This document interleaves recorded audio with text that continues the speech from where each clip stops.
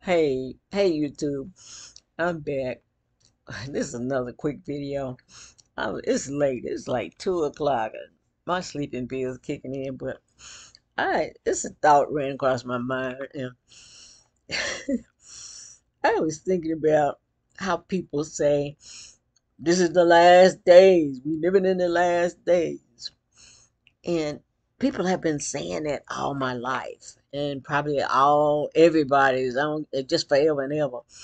But when i was younger i didn't say that and didn't want nobody to say that because uh, i would say dog i ain't had a chance to live and it's the last days. But i'm thinking now older people and probably people who are in the church and trying to live saved and barely hanging on. They want Jesus to come on and get them for they backslide. But if uh this is the last days because we older people know it is actually our last days. It may not be that the, it's the last days of the world, and it's our last days, and that's why we this is the last days. This is the last days. And it makes me laugh when I really think about it because when I was younger and in the church, all these old saints, they would say that every time they uh, tell their testimony. I want to thank the Lord for being here and thank the Lord for life, health, and strength. And I, I know we're living in the last days. And Jesus soon to come. And Lord, you need to be ready. And I'm just saying, uh, he could come on back, but at least I want to live a little bit. I want to get married, have children. I want to experience life. So I didn't like it when they would say that.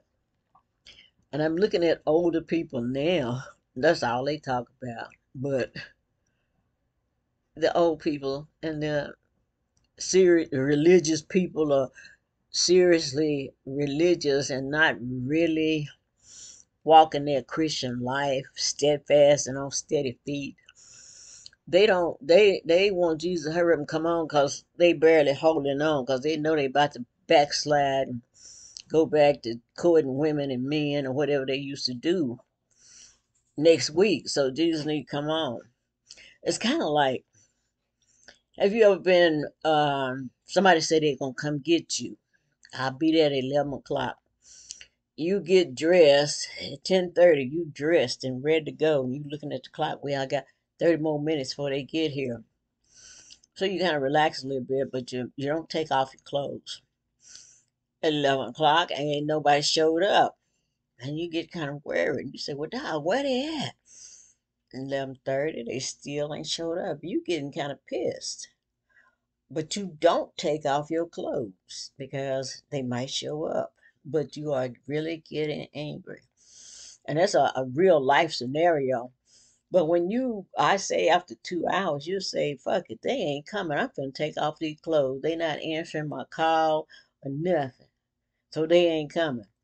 But people that's waiting on Jesus to come, they can't say that. They may get you know, disgusted and angry. And some of these Christians really sound like they mad because Jesus ain't came. Lord, we waiting on you. Hurry up, come on.